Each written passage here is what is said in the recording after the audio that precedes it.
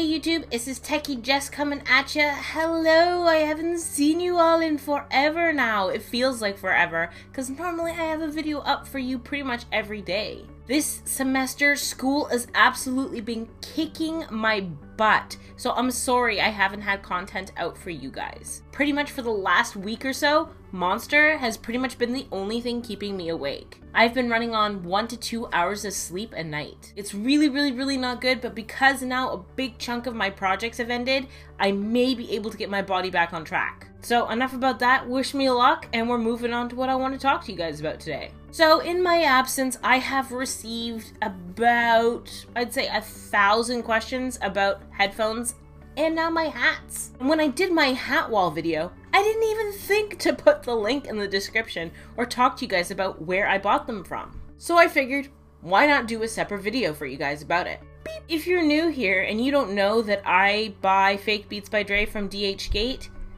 well, now you do. And I also buy my hats from DHgate as well. Why do you do this, Techy? Just why is this something you do? Why don't you just go to Lids? And now I'm not bashing companies or hat stores like Lids because they have awesome product. See?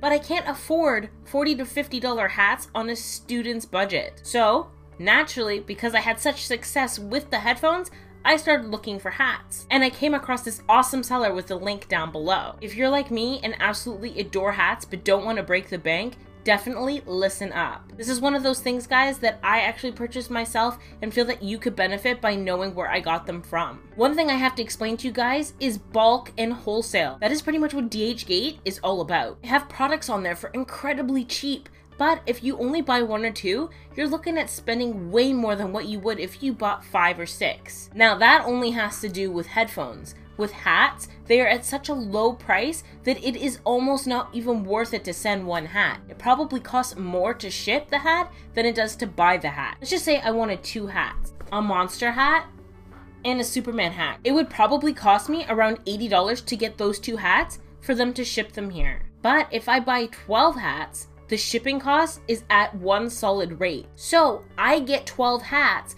and the seller doesn't have to pay as much for shipping. So if you want to get the best bang for your buck, get the package I did with 11 hats. It's under $100, and if you absolutely love hats like me, then this is something definitely worth checking out. So whether you want Superman, Batman, or Batman, Spider-Man, Monster, DC, or even plain hats like this, this is definitely something you guys should check out. If you're interested in purchasing the hats like I have, definitely check the link down below. Unfortunately, with DHgate, they have a safety policy. If you don't know about that yet, I cannot copy direct links to a certain item. DHgate automatically reroutes that actual link to a different one for security reasons. So the only thing I can give you guys is the link to the store in which I purchased my hats. Don't worry about it though, this store is usually online, so if you need to talk to the guy, go for it. And if he's not online, send him a message and he usually responds within 24 hours. Hopefully this was a help to you and if you guys are like me and want to purchase a whole bunch of hats,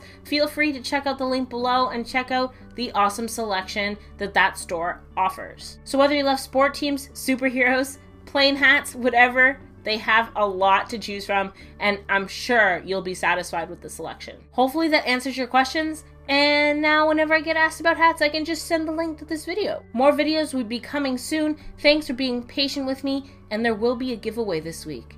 So stay tuned. And if you guys haven't already, definitely check out my new channel, which is digital speed painting, blah, right, right here, blah. Definitely click down there and subscribe for future content on that channel. And until next time, folks, beeba dubba dooba dubba. Doodles.